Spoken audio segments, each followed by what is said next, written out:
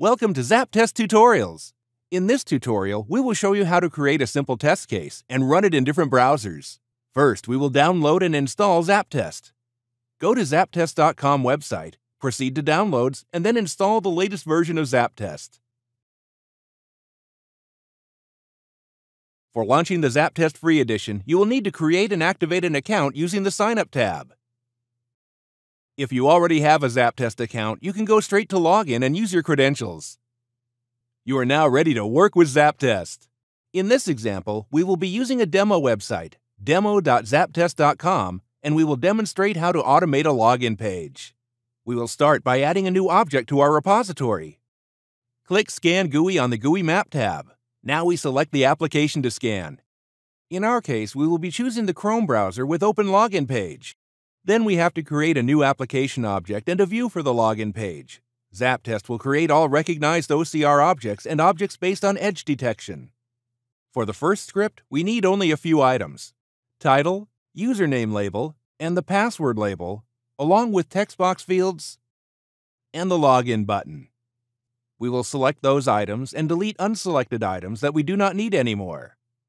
Next, we will rename some of the objects for better understanding of which object name relates to the real object.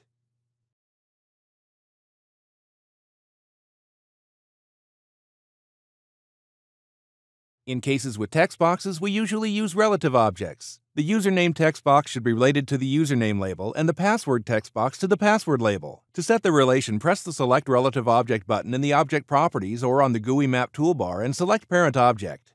Now we are ready to create our script. We have a few ways to write a script. We can use the object repository located on the right side or the GUI map located at the bottom of the screen to generate object code. We can also type all the code from scratch. Let's start by opening the browser. There are a few classes of objects that we can use. In this lesson, we will be using two of them, application and object. We will manipulate with application by using drag and drop of the object into the code editor, then selecting the launch method to launch the Chrome browser we will add the application name Chrome and the site URL.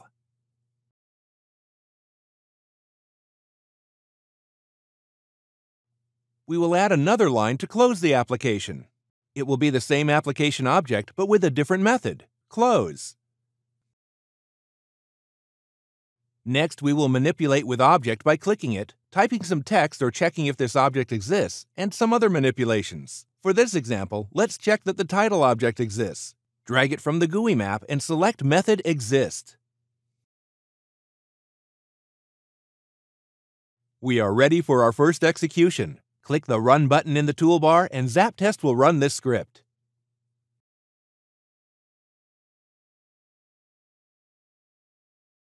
After the script finishes, it generates the report where we can check the results of each operation.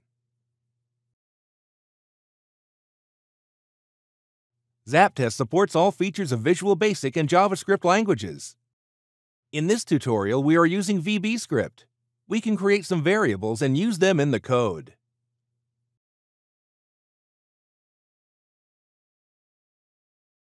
Another big feature of Zaptest is parameterization using data tables.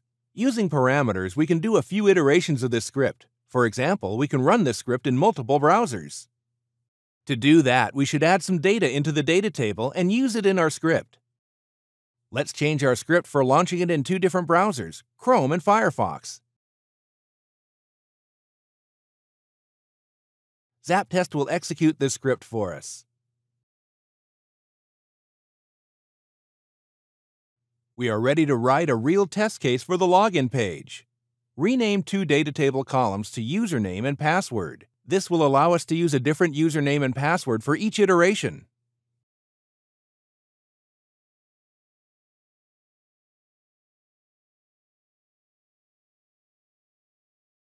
Drag and drop the text boxes to the code editor and use the type command for entering the username and password parameters from the data table.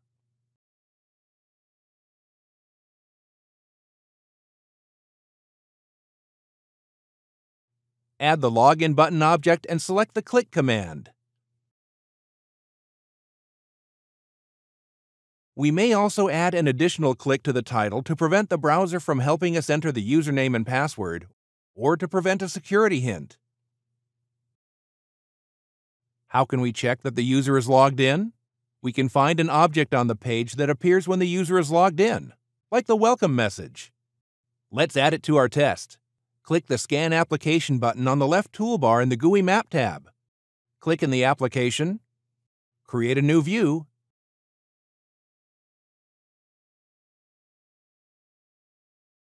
Select and keep the welcome message.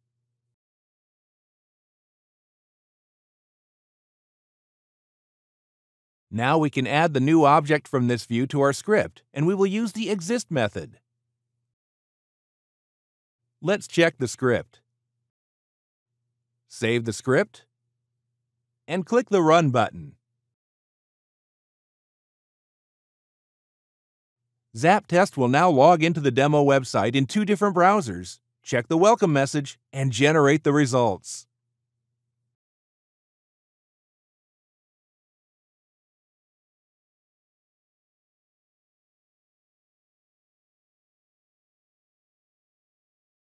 Now we are going to handle some conditions where the username or password is wrong. We are going to add a new column to the data table, Real User. Here we will use the true value for correct user credentials and the false value for wrong login or password. We have changed the password in the second line to an incorrect one. We will add a new if-else statement to validate an error message. In order to check the error state, we need to also add a new view, like we did in the previous step. Open the demo website, enter the wrong login or password,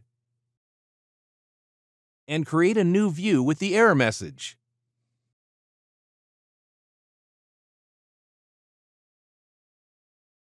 Here we need only one object, error message object. Now we need to add validation of this object to the if-else statement.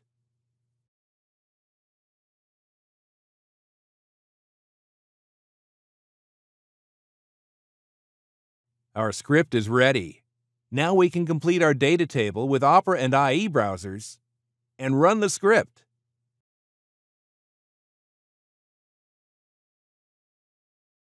We can see that we are using only one script for cross-browser execution.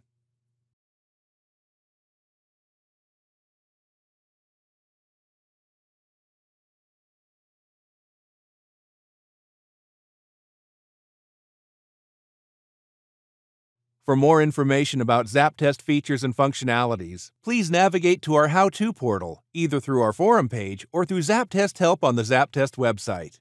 Thank you for using Zaptest.